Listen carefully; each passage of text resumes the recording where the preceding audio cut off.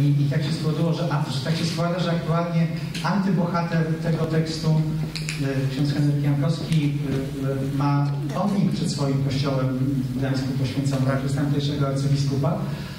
Natomiast tak się również składa, że autor tego tekstu będzie bohaterem dyskusji o jego dziedzictwie w domu arcybiskupów warszawskich z udziałem arcybiskupa łódzkiego. Ciekawe, co, co paneliści uznają za ważniejsze. Y, y, y, czy pomnik, czy tę dyskusję. Podobno nie należy chodzić na panele, w których nie ma mężczyzn, ale chciałem powiedzieć, w których nie ma kobiet, przepraszam.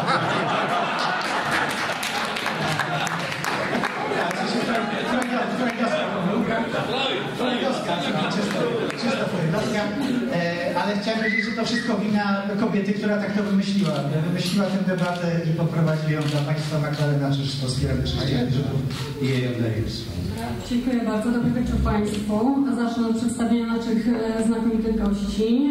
E, chciałam powitać arcybiskupa Grzegorza Rysia, metropolita łódzkiego, członka Rady Stałej Konferencji Episkopatu Polski.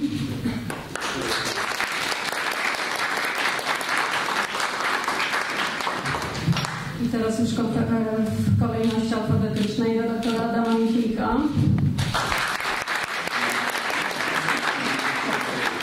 Myślę, że przedstawiać nie trzeba. Redaktora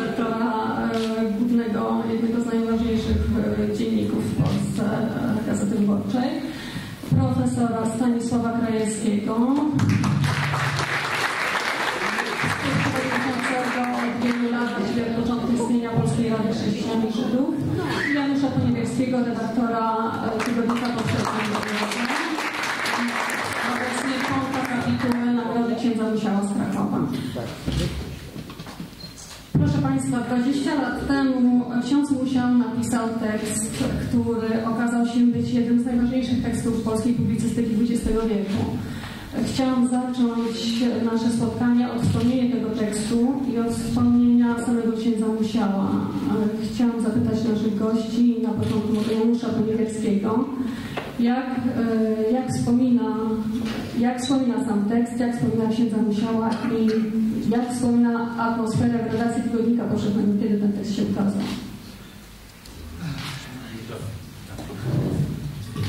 Dziękuję bardzo. E, rzeczywiście w październiku 1997 roku e, pracowałem w redakcji Tygodnika Powszechnego i byłem świadkiem e, pisania tekstu przez księdza Stanisława Musiała, jego publikacji, a następnie całej tej burzy, jaka się, jaka się wokół tekstu na łamach tygodnika i wokół niego przetoczyła. Trzeba po pierwsze przypomnieć, że październik 1997 roku to czas formowania nowego rządu, e, powstałego, e, utworzonego przez koalicję AWS-u i Unii Wolności. E, premierem został Jerzy Buzek, a stanowisko ministra spraw zagranicznych otrzymał Bronisław Geremek. To okoliczność niezwykle ważna dla zrozumienia tego tekstu czarny jest czarny. Oto bowiem w niedzielę 26 października, na kilka dni przed zaprzysiężeniem nowej Rady Ministrów, ksiądz Henryk Jankowski, legenda Solidarności, przemawiając w czasie mszy, oświadczył, że, cytuję, nie można tolerować mniejszości żydowskiej w polskim rządzie, bo naród się tego boi. Z dalszych słów wynikało, że miał na myśli przede wszystkim profesora Geremka, Wymienił przy tym jednak także nazwisko wicepremiera Balcerowicza, któremu, jak powiedział, trzeba patrzeć na ręce.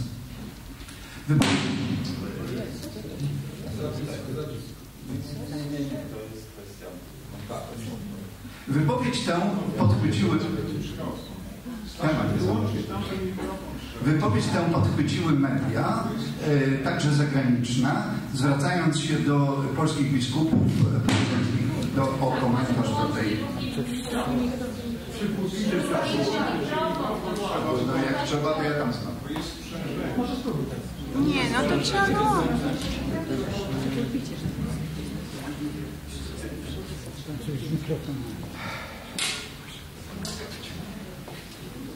Wypowiedź Jankowskiego e, natychmiast podchwyciły media, także zagraniczne, zwracając się do wielu polskich biskupów, prosząc o komentarz w tej sprawie.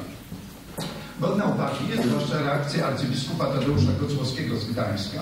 Wydał on Jankowskiemu roczny zakaz głoszenia kazań i zawiesił w czynnościach proboszcza.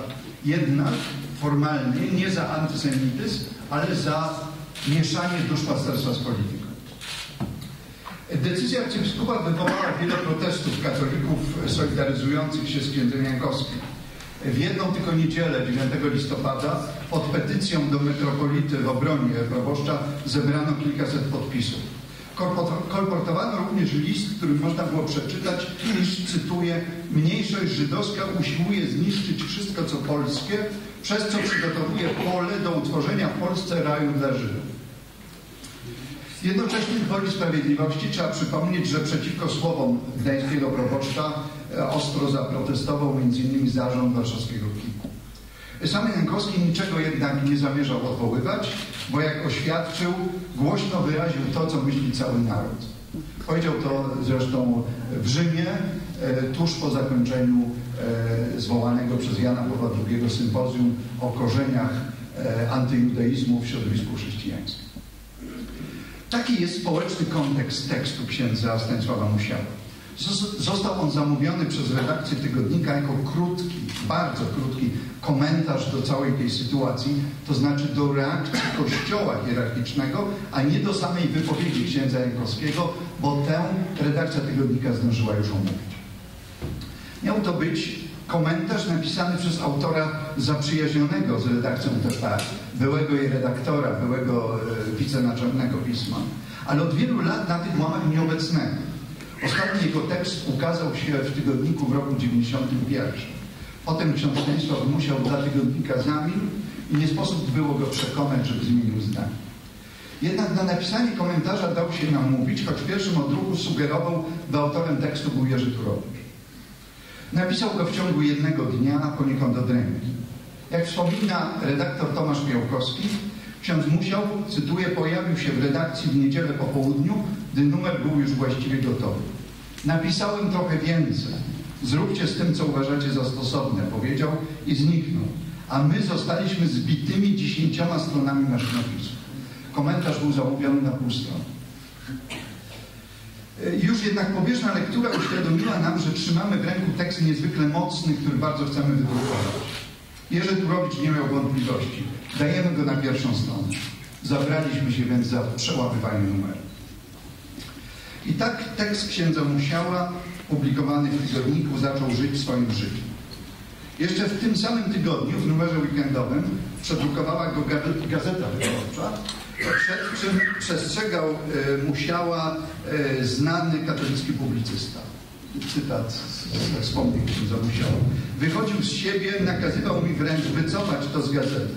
Wołał, że zwrot czarny jest czarny, kojarzy się z klerem, że ten tytuł szkaluje księży, bo sugeruje, że są czarnymi charakterami itd. Opowiadał po latach Stanisław. Wkrótce redakcję tygodnika zalała fala listów od czytelników ich autorami były osoby zarówno bardzo znane, jak e, Jan Nowak-Jeziorański na przykład, jak i takie, których nazwiska nic nam, ówczesnym redaktorom pisma, nie mówiły. W listach wyrażano wdzięczność dla autora tekstu i uznanie za jego uczciwość i bezkompromisowość. Jest, cytat z jednego z listów, jest sprawą samą w sobie smutną, że nazywanie rzeczy po imieniu antysemityzmu antysemityzmem wywołuje reakcję głębokiej wdzięczności i podziwu. Ale taki widać jest czas, w którym żyjemy. Na łamach tygodnika w tamtym okresie można znaleźć wyłącznie listy solidaryzujące się z, postacią, z postawą księdza Musiała, co stało się potem podstawą do oskarżania pisma o stronniczość. Tymczasem my bardzo chcieliśmy opublikować choćby jeden głos krytyczny. Dobrze jednak pamiętam, że większość takich właśnie listów miała charakter anonimowy, a te, które podpisano, ze względu na poziom argumentacji nie nadawały się do druku. Mówię o tym z przykrością, bo do dziś niektórzy, również w wywiadach rzekach, twierdzą, że tygodnik zamknął wówczas usta ludziom myślącym inaczej. Długo jeszcze można by mówić o prawdziwej burzy, jaka się rozpętała po publikacji artykułu Czarny z Czarnej, o ważnych tekstach, jakie napisano na jego temat, między innymi tekście Konstantego Geberta, Stanisława Krajewskiego itd. Można by też mówić o zdumiewającej dla mnie e, polemice, e, zdumiewającej ze względu na stylistykę, na jej stylistykę i na styl, w jakim, w jakim została przesłana do, do, e, właśnie nie do redakcji Tygodnika Powszechnego, tylko do Katolickiej Agencji Informacji. Ale może już nie będę o tym mówił. Dziś po 20 latach trudno mi nie odczuwać wdzięczności dla księdza Musiała. Myśląc o nim i za nim tęskniąc, powtarzam ze księdzem Michałem Czajkowskim. Polska potrzebuje proroków i Kościół w Polsce ich potrzebuje. Potrzebujemy takich, którzy nam odważnie powiedzą, że król jest nagi i że czarne nie jest białe, tylko czarne. Zakończę cytatem z jednego z listów wydrukowanych w tygodniku. W tym momencie, to znaczy po słowach księdza Jankowskiego, każdy uczciwy człowiek powinien zaprotestować. Dlaczego zatem milczymy?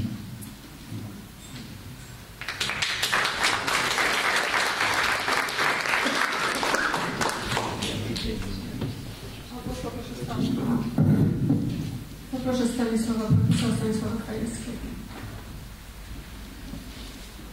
Proszę Państwa, y, ksiądz Musiał został uznany w owym czasie i może tak jest do dzisiaj za człowieka, który najbardziej poszedł w kierunku y, odrzucenia wymogów kościelnej poprawności i który zaczął mówić o winach Kościoła wobec Żydów. Dla wielu poszedł on za daleko i tym bardziej wydaje mi się godne uwagi, o tym chcę mówić, że w jego przypadku proces dojrzewania do rozumienia spraw żydowskich, do empatii, przejmowania się nimi był bardzo powolny.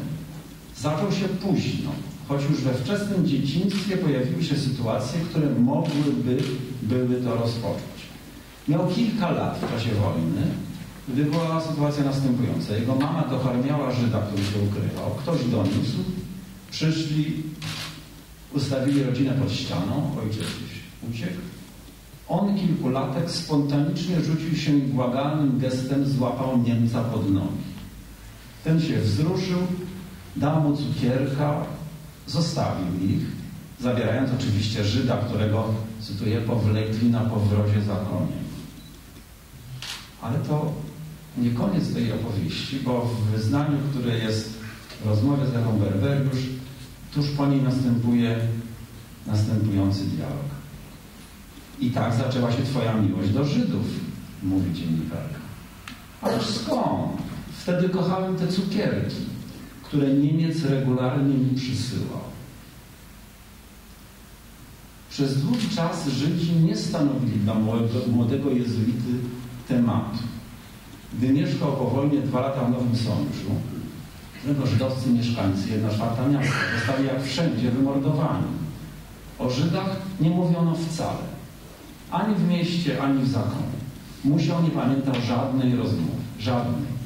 Sam też nie zadał żadnego pytania.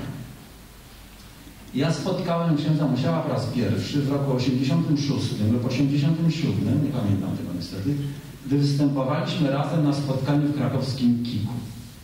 Przedstawiony był został jako sekretarz niewiele wcześniej powołanej do życia Komisji Episkopatu Polskiego do spraw dialogu z judaizmem i reprezentował, takie odnosiłem wrażenie, dość typową postawę obronną. Główna teza jego była taka, że hitleryzm był pogaństwem, Kościół, ludzie Kościoła byli wśród ofiar nazizmu i tyle właśnie. Ewentualna wina Kościoła, czy choćby ludzi Kościoła nie była przezeń rozpatrywana. Ponadto ksiądz musiał, wydawał mi się, człowiekiem mało wrażliwym na żydowskie doświadczenia. W tym bez wyczucia w tak fundamentalnej dla nas sprawie jak nawracanie. Wspominał bowiem o tym, że możliwość nawrócenia Żydów na katolicyzm to jest wyraz dobrej woli wobec Żydów. Nie miałem przeczucia, że po kilku latach jego słowa i zachowanie będą budziły tak wybitnie pozytywne emocje u mnie, mojej rodziny, moich przyjaciół, chyba wszystkich polskich Żydów wówczas nie rozumiał wrażliwości żydowskiej. Zmieniło się to dopiero na skutek jego udziału na prośbę kardynała Macharskiego w rozwiązywaniu konfliktu wokół klasztoru karmelitanek w Oświęcimiu. W 1985 roku Bernard Suchecki, czyli Suchecki z Belgii, który nagłośnił całą tą sprawę na, na Zachodzie, na świecie, odwiedził redakcję Tygodnika Powszechnego. Ksiądz musiał, musiał, się, musiał się nim zająć i wtedy bronił klasztoru w rozmowie z, z dziennikarzem z Belgii. Kardynał Machalski zrobił go mediatorem, a on chciał na początku załatwić sprawę w duchu oczekiwań polskich duchownych. Natomiast bodźcem do przemiany były lektury relacji Żydów, którzy przeżyli zagładę, zwłaszcza świadectw dzieci. Zrozumiał coś zasadniczego. Kościół instytucjonalny nie interesował się losem tych ludzi. Mówił potem, cytuję, nas nie było wtedy, gdy dokonywał się Shoah. To było w roku 89, niewiele później. Narodził się wtedy nowy musiał, który, cytuję, doszedł do wniosku, że żądania Żydów nie są podyktowane jedynie ich nadwrażliwością. Niespodziewanie wpisał się w nurt zwany teologią po Auschwitz. Stał się, jak powiedział ksiądz Czajkowski, profetycznym głosem w polskim kościele. Więc choć zaczął zgłębiać sprawy żydowskie przypadkowo, w gruncie rzeczy, nas przeżył moment nawrócenia, a gdy doszedł do pełnego empatii stanowiska wobec Żydów, był przekonany, to jest opinia znajomego zakonnika, że na tę ścieżkę zawiódł go Bóg. Był doceniony przez Żydów. Pamiętam, jak w 1992 roku w Waszyngtonie dostał nagrodę Nation Award. Stał przed dużym zgromadzeniem, które zgotowało mu owację na stojąco. Uśmiechał się niepewnie i wskazywał na swoje serce. Wszyscy byli wzruszeni. Widziałem też kilkakrotnie, jak przemawia do grup zagranicznych. Mówił rzeczywiście z serca do serca. Staszek, bo tak zacząłem go nazywać, stał się osobą bliską nie tylko mnie, ale i mojej rodziny. Odwiedzaliśmy go z moją żoną Moniką w klasztorze. On był u nas, przyjechał na przykład na uroczystość barmictwy naszego starszego syna. Historia jego ewolucji jest z jednej strony optymistyczna. Jeśli on, wychowany na wsi, ukształtowany tradycyjnie, przez większość życia nie mający zrozumienia dla Żydów i żydowskiej wrażliwości, mógł zmienić się tak bardzo, to znaczy, że i inni mogą przejść podobną ewolucję i zmienić podejście naprawdę w sposób niebudzący wątpliwości. Nie tak jak pewien potężny zakonnik, polityk, biznesmen, który po latach propagowania postaw antysemickich w swoich ośrodkach medialnych nagle zaczął publicznie chwalić Izrael, spotykać się z niektórymi chętnymi do tego Żydami, którzy zresztą raczej nie są polskimi Żydami, i no, powitałbym to z zadowoleniem, gdyby powiedział, że przedtem się mylił, że w jego imieniu mówiono kłamstwa, że wyrządził szkody, propagował nienawiść. Tymczasem on nawet się nie zająknął na ten temat, a język nienawiści przekierował przeciwko muzułmanom i islamowi. Przemiana księdza musiała napawa otuchą.